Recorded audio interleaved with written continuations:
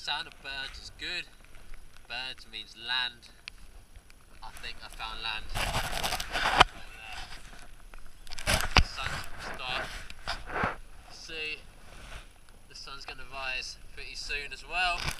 It's pretty sweet. I just gotta find out where I left my gear.